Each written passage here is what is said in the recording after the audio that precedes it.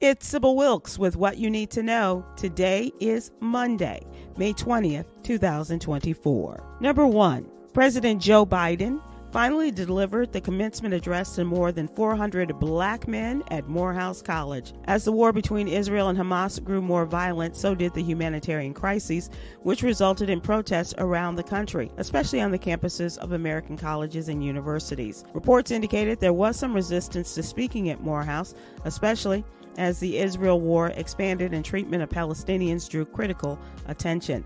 But overall, there was little strife or resistance on the part of the protesters. Number two, the fallout continues following the publication of a New York Times report that a U.S. flag flew upside down outside the home of the United States Supreme Court Justice Samuel Alito in January of 2021 for about three days before the inauguration of President Joe Biden.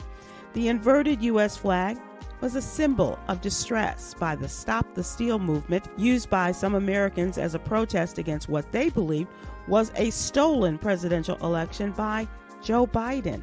Leading Democrats, including Senate Judiciary Committee Chairman Dick Durbin of Illinois, called on the 74 year old justice to recuse himself from two upcoming cases related to January 6, as well as to Donald Trump. Number three, an ischemic stroke occurs when a vessel supplying blood to the brain is obstructed.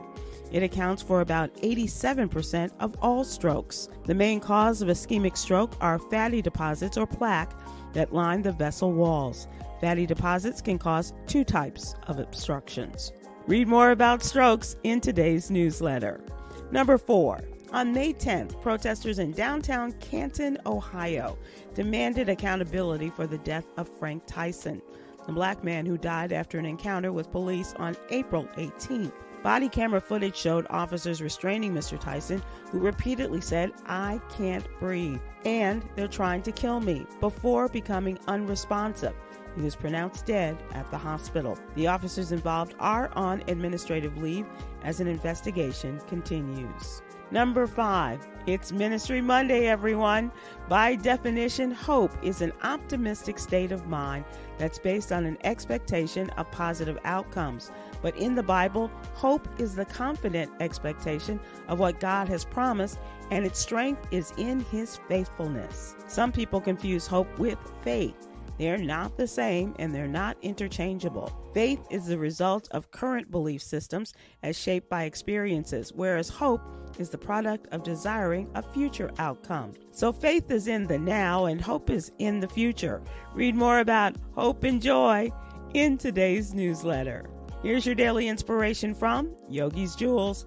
Positive energy means maintaining an optimistic outlook, even in challenging situations. Thank you to our What You Need to Know partners, the American Heart Association and Black Health Matters. I'm Sybil Wilkes. Be informed, be empowered.